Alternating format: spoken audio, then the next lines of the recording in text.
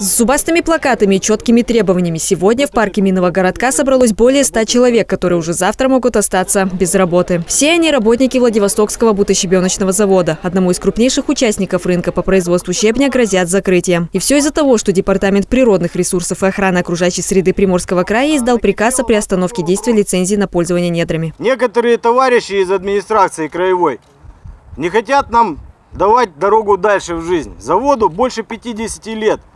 Э, Несколько поколений выросло на этом заводе. Построился город Владивосток благодаря нашему заводу. Тем не менее, находятся некоторые личности, которые препятствуют деятельности нашего завода и всем, э, всеми путями стараются его закрыть не мытьем, так катанием. Владивостокский бутощебеночный завод был построен 25 мая 1953 года и обеспечивал потребности колоссального роста объемов капитального строительства в Владивостоке в начале 60-х. Уже в 1964 году он стал самым крупным предприятием строительной отрасли всего Дальнего Востока. Проблемы у ВБЩЗ начались в 2015 году. Внеплановой проверки департамента отказ в согласовании проектной документации отработки карьера. Бумаги переделывали уже пять раз. под всяким соусом, на- нах- находя всевозможные причины, замечания и ошибки в нашем проекте, э, департамент не согласовывает его. Хотя проект был сверстан, сделан Гипронерудом. Это очень серьезная организация, которая работает уже на рынке больше 70 лет.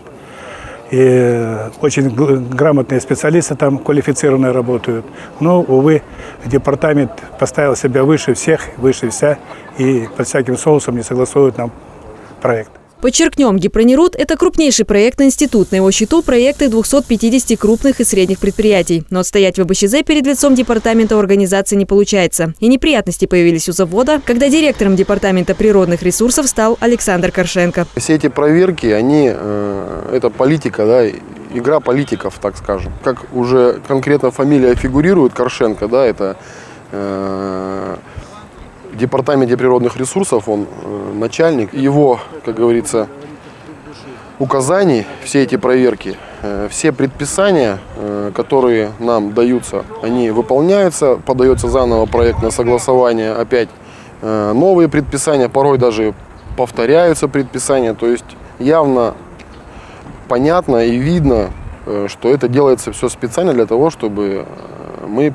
прекратили свое производство. Несогласование проекта ведет за собой приостановку добычи бутового камня, основного сырья, на котором работает завод. Сейчас предприятие функционирует, люди получают зарплаты, но живут в напряженном ожидании будущего. Ведь если власть не даст добро, более 200 человек, а с семьями около тысячи могут остаться без средств к существованию. Вот сидишь на, как на пороховой бочке, как на измене каждый день. Не знаешь, идешь на работу, сколько скажут сегодня, нет, там, что может быть, идите все в отгулы, там, на два месяца, на полгода, на год. Кредиты не взять, ничего не взять.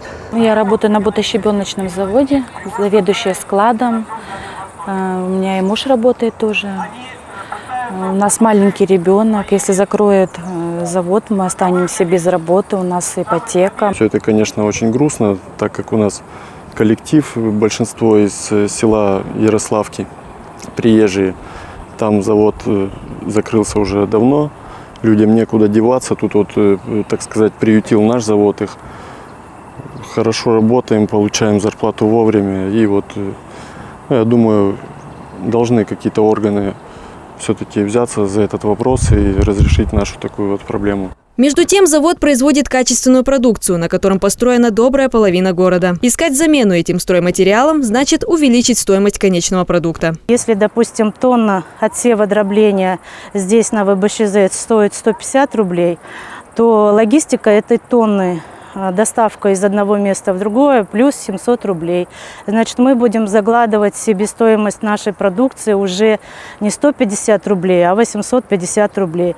Отсюда пострадают э, э, бюджет строительных организаций и э, тех тендеров, на которые претендуют строительные организации при строительстве того или иного объекта. Авторитетность Санкт-Петербургского института Гипронерут, который делал проект Нагорной работы, под сомнение поставить невозможно. Ведь это крупнейшая организация строительной отрасли. Неужели заключение целого института и мнение одного человека сопоставимы? Надеемся, что от людей не отмахнутся, и контролирующие органы разберутся в ситуации по справедливости. Анастасия Крикун, Катерина Матвеева, Игорь Болтов. Новости на восьмом.